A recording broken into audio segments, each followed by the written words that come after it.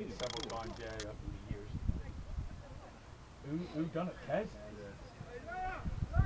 I d- Was it a... Was it? I thought it was... Uh,